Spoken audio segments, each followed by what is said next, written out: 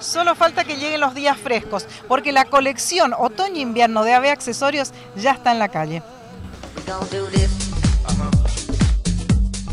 Con esta impronta tan especial se presenta la colección otoño-invierno de AVE Accesorios con toda la fuerza que le impone el Animal Print que se viene quedando desde hace varias temporadas y se reedita permanentemente.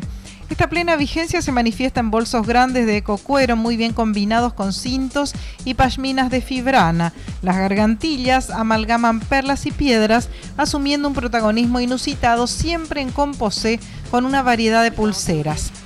Si hay colores que superan los vaivenes de la moda, ese es el negro, que combina la perfección con metales muy versátiles como oro, plata y cobre.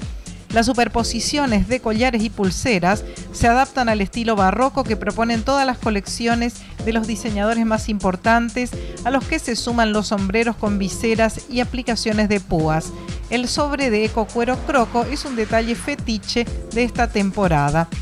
Damos una vuelta de página para mostrarles diversos matices de tonalidades grises que pasan desde el clásico gris perla, coqueteando con el gris plomo y el plateado.